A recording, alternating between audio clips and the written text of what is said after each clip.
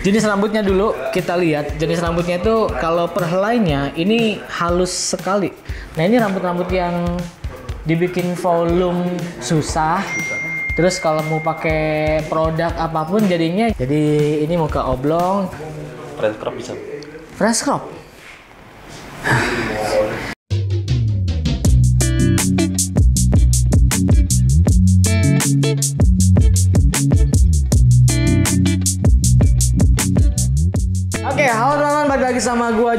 Dan di samping gua sudah ada orang yang rambutnya tipis, halus, lemes dan gua nggak tahu nih mau dibuat apa. Gua rasa ini adalah salah satu keluhan banyak masyarakat masa kini, Woi.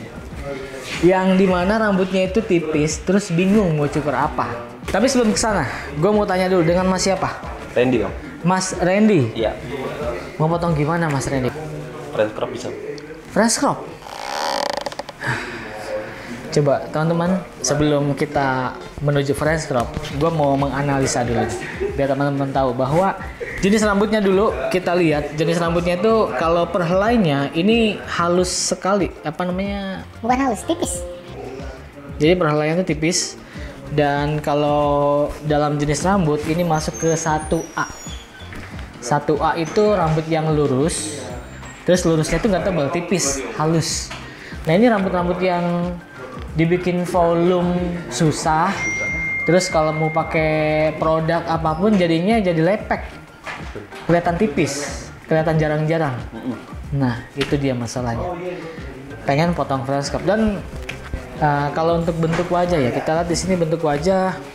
Jadi ini muka oblong kira-kira dipotong fresh cut bisa apa enggak? Di sini gua akan coba untuk tantang salah satu tukang cukur Haji Salon ada Opik di sini. Opik masuk. Nah, ini dia. Opik. Seperti yang kalian tahu, Opik ini sudah berapa tahun Pik di sini? Dua tahun Dua tahun lebih atau kurang? kurang. Kurang. Berarti belum dua tahun. Bulan apa? Dua tahun. Lebaran paling. Lebaran dua tahun. Habis Maret. Lebaran dua tahun, iya. Maret April. Oke. Mas Randy rambutnya tipis, lemes. Oh, lihat nih tengah-tengahnya nih. Nih udah mulai penipisan. Nah, pengen potong fresh crop. Fresh Kira-kira crop ya. bisa apa enggak? Bisa bang. Bisa. Bisa Jadi lah. gue pengen sampingnya juga supaya atasnya terlihat tebal. Itu sampingnya dibuat lebih tipis, kayak No. dibikin fade, medium fade mungkin Medium ya. fade. Ya teman-teman, eh, salah satu cara memanipulasi dalam potong rambut, kalau kalian rambutnya tipis di atas, itu bagian sampingnya lebih ditipisin lagi supaya atasnya terlihat tebal. Makanya di sini gue pengen bagian samping dibuat medium fade. Fade. Oke. Fade itu adalah gradasi yang tingkatannya itu mulai dari nol. Jadi bagian bawah sini itu habis, tidak ada rambut sama sekali. Bisa? Bisa Baik. bang. Oke, teman-teman, jadi ini sudah kita mulai dan kacamatanya sorry mas. Oke siap. Nah, eh, mulai dari dibasahin dulu bagian atasnya. Tapi ini ya, ngomong-ngomong soal rambut tipis nih, kan banyak pertanyaannya adalah, bang gimana caranya menebalkan rambut? Nah ini harus diklarifikasi dulu nih, menebalkannya itu ekspektasinya kayak gimana? Karena kadang eh, ini tebal itu secara per helainya jadi gede, satu helainya yang tadinya kelingking gitu ya, jadi telunjuk atau lebat. Karena menurut gue nih, kalau cara menebalkan rambut yang ekspektasinya dari kelingking menjadi eh, jari telunjuk ini yang jadi gede, jadi tebel eh, satu per helainya, itu menurut gue kayaknya nggak ada deh, nggak bisa kayak gitu deh karena per perhelai itu sudah dari lahir ya udah jadinya perhelai segitu perhelainya kalau kayak gitu kayaknya lebih ke genetik. Ekspektasi menebalkan rambut itu menurut gua adalah membuat rambutnya lebat. Seiring bertambahnya umur terus ditambah pola hidup eh, jarang dirawat rambutnya itu akan semakin eh, tipis. Bahkan kalau lu tidak merawat rambut atau lu sering ngecat rambut segala macam itu di masa muda pasti mulai eh, penipisan. Menebalkan rambut itu yang gua pahamin posisi teratas untuk menebalkan rambut yang pertama adalah tanam rambut udah pasti kalian bisa ke Turki atau di Indonesia pun sekarang udah ada yang kedua itu adalah minoxidil Minoxidil menurut ilmu kedokteran itu memang uh, untuk apa namanya? Untuk pertumbuhan rambut. Ingat ya, minoxidil untuk untuk pertumbuhan rambut. Jadi rambut yang tipis yang sudah hilang rontok terus kita mau numbuhinnya lagi. Nah itu pakai minoxidil. Nah di bawahnya minoxidil itu ada herbal kayak minyak kemiri rosemary oil argan oil segala macamnya. Tapi kalau teman-teman tidak punya genetik kebotakan masih dalam pertumbuhan rambut masih apa uh, masih muda umurnya di bawah 25 gitu ya. Nah itu untuk mempercepat pertumbuhan rambut membantu pertumbuhan rambut itu bisa pakai rosemary oil aja atau minyak kemiri. Di luar produk nih ya eh, ada hal-hal yang mendukung yaitu cara kita eh, gaya hidup kita.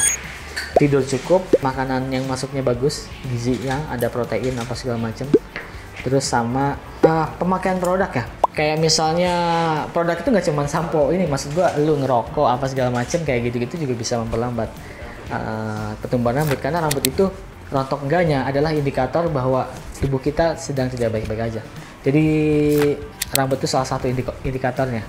Lu lagi stres rambutnya rontok banyak.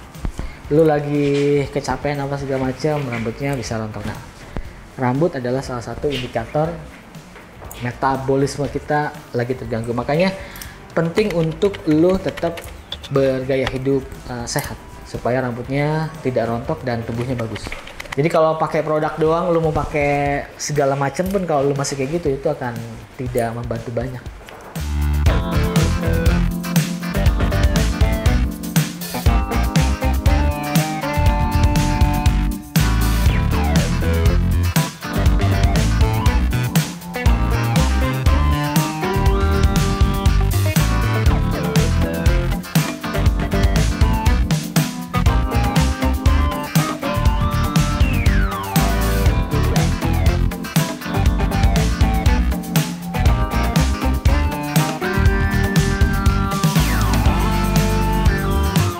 Oke Pik, udah selesai belum nih? Udah selesai.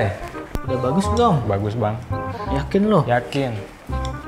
Udah menyala. Udah, udah keramas udah keramas. Keramas sudah. Keramas. Pakai minyak kemiri tadi udah. Udah juga. Tinggal apa yang belum nih? Tinggal styling. Styling. Styling. Oke, stylingnya gue pengen lu pakai Gatsby The Natural Styling Balm yang clay. Nih, lihat ada fresh crop di, di atasnya. Oke, siap. Gatsby The Natural Styling Balm Clay ini dibuat untuk kalian yang suka model berantakan atau messy kayak French crop, two block, dan lain sebagainya. Nah, selain itu, Gatsby The Natural Styling Balm ini mengandung vitamin yang mencegah rambut rusak ketika pakai produk styling. Buat teman-teman yang mau beli Gatsby The Natural Styling Balm ini sudah ada di semua marketplace official Gatsby dan minimarket terdekat.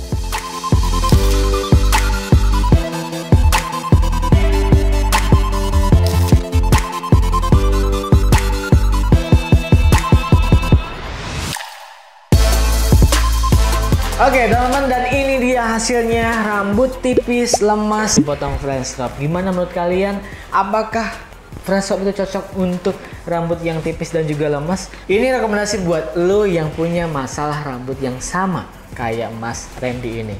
Jadi saran gua buat ke depannya nih buat Mas Randy dan teman-teman yang punya rambut tipis eh, sebelum nanti tipisnya makin parah dari sekarang itu di, dirawat dari mulai di dalam dulu dari dalam itu eh, yang tadi pola hidup ya. Tidur iya tidurnya cukup makan bagus terus juga pemakaian produk yang merusak itu dikurang-kurangi. Terus mulai dikonsistenkan pakai produk yang menumbuhkan rambut kayak rosemary oil minyak kemiri. Terus kalau memang pengen numbuhnya lebih banyak bisa pakai minoxidil. Tuh saran dari gue dan yang paling penting itu kitanya aware dulu sih kalau kan banyak tuh pertanyaan yang gimana caranya supaya rambut sehat bang? Rambut gue dulu kayak gini sekarang rambutnya rusak. Pertanyaan gue cuma satu rambut lu dirawat apa enggak? Kebanyakan itu tidak karena cowok tidak aware sama masalah rambut. Jadi kayak ya udah dia sampoan aja setiap hari atau enggak dua sekali ya udah. Mereka pikir sampoan itu adalah perawatan rambut. Padahal kalau lu mau merawat rambut minimal punya tiga ada sampo, hair tonic, serum, ya ada tiga ini. Atau bisa diganti hair oil, serum, hair tonic gitu gitulah. Sesuai dengan masalah rambutnya.